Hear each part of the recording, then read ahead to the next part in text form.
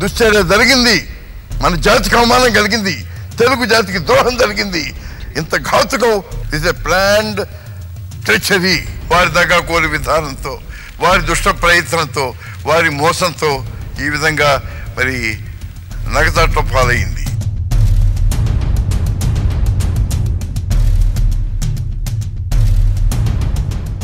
Welcome to PDTV news తస్మాత్ జాగ్రత్త అని నందమూరి తారక రామారావు ఏనాడో చెప్పారు.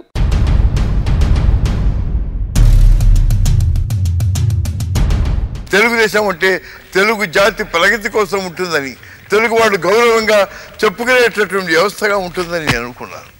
రామారావు గారి మీద పగ సాధించాలి అనేటటువంటి కార్యక్రమమే కానీ ప్రజలకు మేలు చేయాలనేటువంటి ఉద్దేశం ఆయనకు లేదు.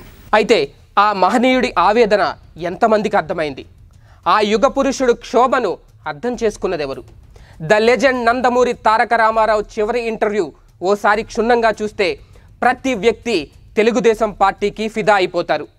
తెలుగుదేశం పార్టీ అధినేతగా ఇప్పటికీ ఎన్టీఆర్నే గుండెల్లో పెట్టుకొని పూజిస్తున్న వారు ఎంతోమంది ఉన్నారు.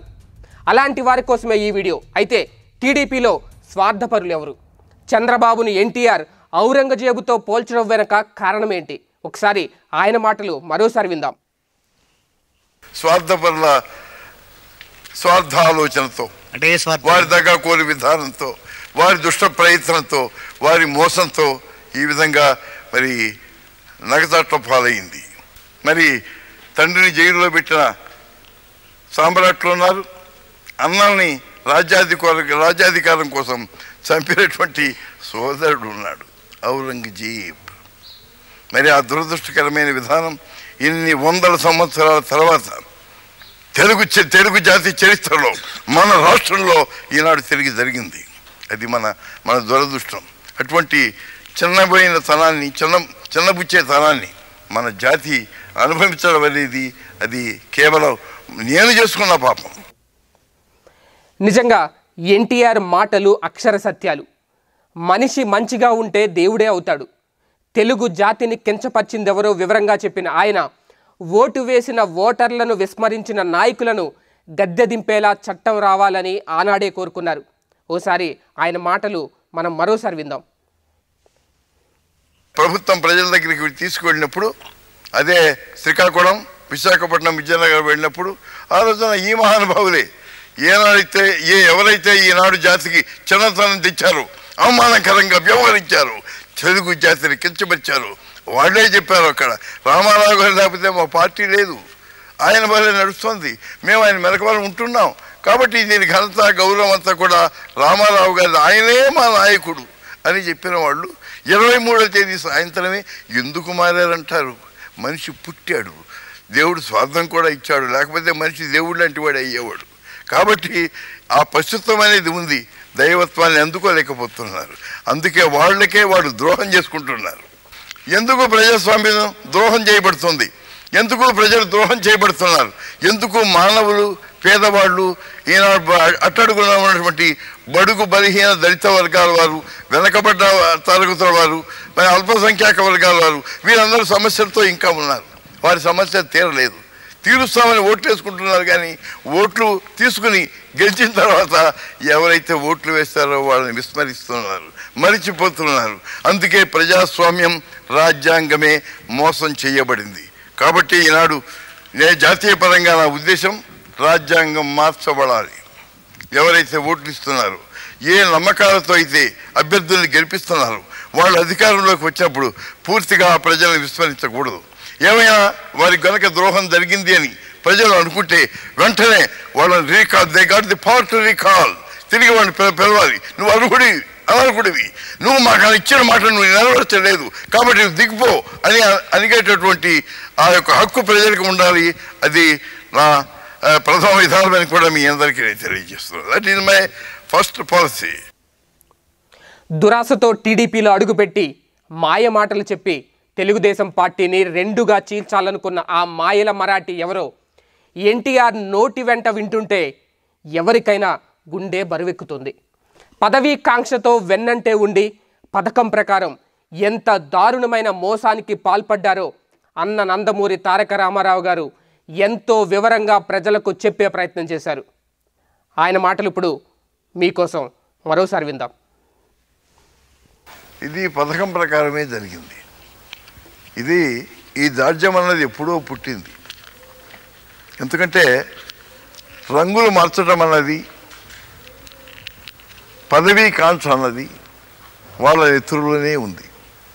ఎందుకంటే ఇవాళ మీరు అడుగుతున్న వ్యక్తి ముందు కాంగ్రెస్లో ఉన్నాయని మా అల్లుడే కావచ్చు అని కాదను కానీ కాంగ్రెస్లో ఉన్నాడు. అక్కడ ఎప్పుడైతే పరాజయం చెందాడో తెలుగుదేశంలోకి వచ్చాడు. నేను మీ విధానాలకు పూర్తిగా అంకితం అవుతానని మాట ఇచ్చాడు కానీ మనసులో ఉన్న దు ఆ దురాశ మాత్రం పోలేదు.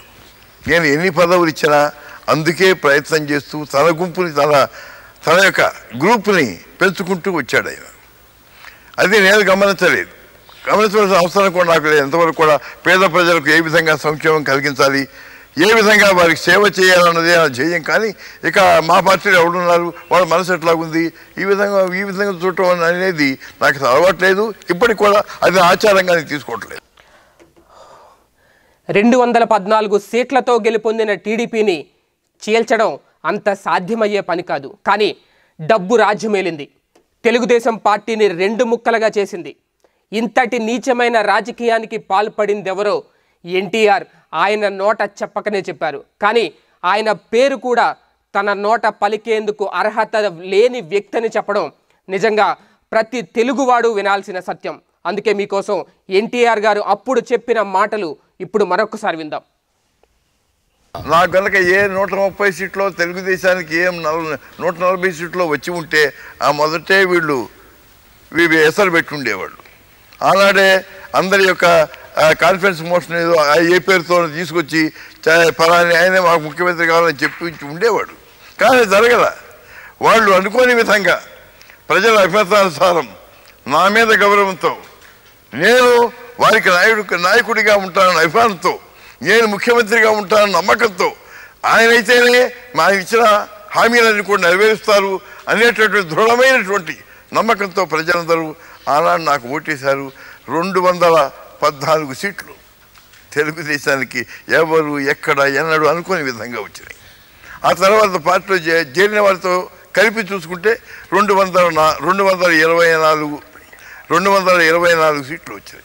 కాబట్టి వాళ్ళు ఏం చేయలేకపోయారు. అదే నూట నలభైయో నూట ముప్పై నూట నలభై ఐదో వచ్చి ఉంటే వాళ్ళు ఏమైనా చేసి ఉండేవాడు నూక వాడు ఇదిగో మాకు ఈయన కావాలి ఈయన కావాలి. ఎందుకంటే అంతకుముందే రంగం ఏర్పాటు అయ్యింది అందరికీ డబ్బు ఇచ్చాడు ఈయన.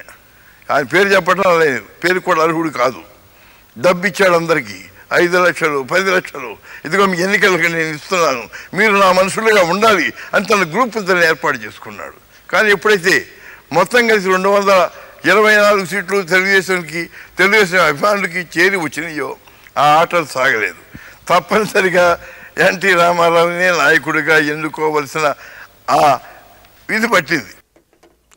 నమ్మకాన్ని ఆయుధంగా చేసుకొని యుద్ధానికి వెళితే ఖచ్చితంగా అవినీతిదే పైచే అవుతుంది. అప్పట్లో కూడా అదే జరిగింది. నీ నా అనే విభేదాలు సృష్టించి ఆ యుగ పురుషుడిని నమ్మించి మోసం చేశారు కొంతమంది అప్పటి తెలుగు తమ్ముళ్ళు. ఆ విషయాన్ని చాలా క్లియర్గా ప్రజలకు అర్థమయ్యేలా ఎన్టీఆర్ తన చివరి ఇంటర్వ్యూలో చాలా స్పష్టంగా చెప్పారు.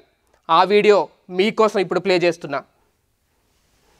ఏ విధంగానైనా సరే ముఖ్యమంత్రి కావాలి అనేటటువంటి ఆశ మాత్రం మనసులో చావలేదు అది అట్లాగే ఉంది. ఆ ఆశతోనే తన గ్రూపుని తయారు చేసి మీరు నా వాళ్ళ వాళ్ళ వాళ్ళ అని వాళ్ళ వాళ్ళందరినీ కూడా తన తన వైపు తిప్పుకునే ప్రయత్నాలు చేశాడు.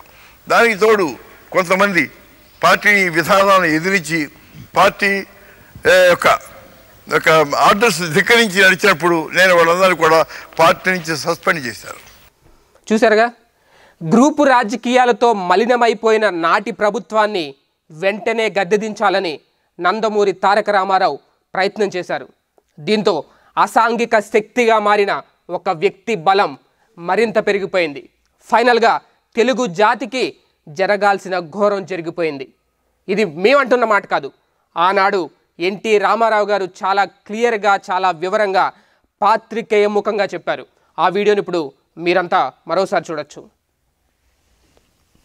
ఎప్పుడైతే వీడు ఈ ఈ దుర్విధానాన్ని పసిగట్టాను. ఆ రోజున గవర్నర్ గారికి లేఖ రాస్తాను ఐదుగురిని పార్టీ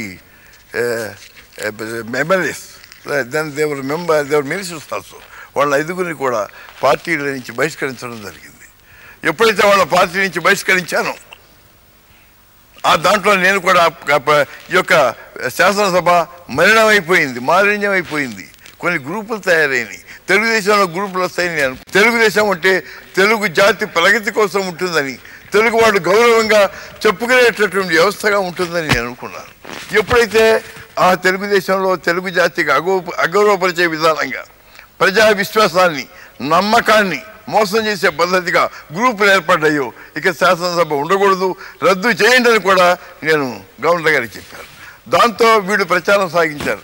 ఇదిగో ఆయన అధికారంలో ఉంటే ఆయన గవర్నర్ గారిని బయట రద్దు చేయమని కోరాడు. కాబట్టి మీరందరూ కష్టపడి గెలిచి వచ్చిన మీ సీట్లు పోతాయి. కాబట్టి మీరు ఏమైనా సరే నా దగ్గరికి రావాలి నా వైపు ఉండాలి. నేను మిమ్మల్ని ఉంచుతాను. మీకు అందరు కూడా కావాల్సినంత అవకాశాలు మీకు కల్పిస్తాను అధికారాలు ఇస్తాను మంత్రుల్ని చేస్తాను అని ఎన్నో ఎన్నో ఆశలు పెట్టి వాళ్ళందరినీ కూడా స్వార్థంతో తన వైపు తిప్పుకున్నాడు. దిస్ ఈజ్ ది రిజల్ట్ ఇవాళ దుశ్చర్య జరిగింది. మన జాతికి అవమానం కలిగింది. తెలుగు జాతికి ద్రోహం జరిగింది. అంటే ఇది ఇంత ఘాతుకం వెనక వాళ్ళు ఉందని కూడా మీకు తెలియజేస్తున్నాను. దిస్ ఎ ప్లాండ్ ట్రెచరీ ఇలాంటి దారుణాలు ఇలాంటి ఘోరాలు ఎన్టీఆర్ గారి నోటి వెంట చాలానే వినిపించాయి. అయితే మంత్రిగా ఉన్న వ్యక్తి ముఖ్యమంత్రి కావాలనుకోవడం తప్పులేదు. కానీ అప్పటికప్పుడే నమ్మక ద్రోహం చేసి పీఠం దక్కించుకోవాలనుకోవడం నిజంగా హేయమైన చర్య. పార్టీ క్రమశిక్షణ అంటే ఇదేనా? అంటే దానికి ఎన్టీఆర్ చెప్పిన రెండు ముక్కలు వింటే ఎవరేంటో అర్థమవుతుంది. ఆ రెండు ముక్కలు మీరు కూడా వినండి ఒకసారి. ఒక మంత్రిగా ఉన్నవాడు ముఖ్యమంత్రిగా ఎసరు పెట్టడం ఎసరు పెట్టడం అది మరి క్రమశిక్షణ ప్రోత్సహించదు. అటువంటి విధానాన్ని క్రమశిక్షణ అంగీకరించదు. ఇది స్వార్థపరత్వం దగాకూరుతనం. అది ఎప్పుడూ అనాది నుంచి కూడా ఈ మానవ జాతిని కేవలం కించపరుస్తున్నటువంటి ఒక స్వార్థపరత్వమైన తప్పుడు విధానం. చూశారుగా? అయితే ఇంతకీ ఎన్టీఆర్పై పగ సాధించింది ఎవరు ఇప్పుడు తానేదో చేస్తున్నానని గొప్పలు చెప్పుకుంటున్న పథకాలు ఎప్పుడో నందమూరి తారక రామారావు ప్రవేశపెట్టినవే. ప్రజాద్రోహం చేసి తెలుగు జాతి గర్వించదగ్గ యుగ పురుషుడిని ఎంతగా క్షోభ పెట్టారో ఇప్పుడు మీరు చూడబోయే వీడియో చూస్తే మీకే క్లియర్గా అర్థమవుతోంది.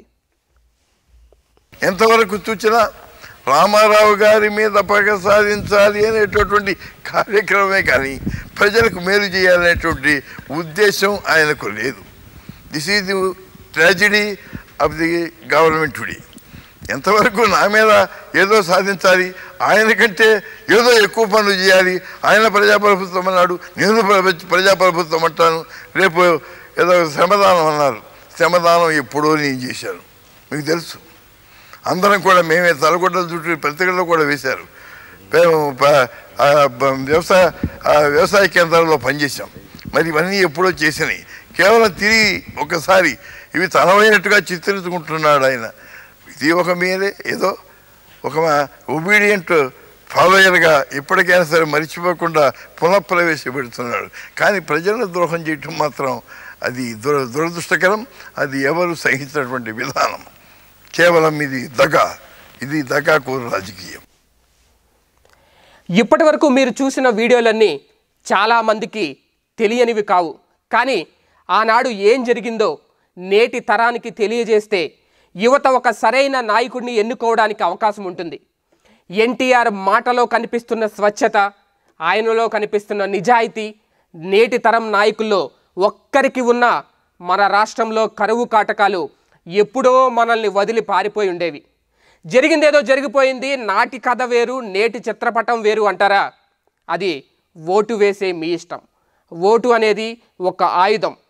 ఒక రాష్ట్ర పాలనను ఒక వ్యక్తి చేతిలో పెట్టేందుకు ఉపయోగపడే ఒక ఆయుధం. ఆ ఆయుధాన్ని ఎలా ఉపయోగించుకోవాలనేది ఓటు బటన్ నొక్కే వరకు మాత్రమే ఆయుధం మన చేతిలో ఉంటుంది. ఒక్కసారి మీట్ నొక్కారో ఆ తర్వాత పాలకుడు ఎవరు వస్తారు? పాలన ఎలా ఉంటుందో? ఐదేళ్ళు పాటు భరించక తప్పదు. ఆ పాలన ఎలా ఉన్నా సరే.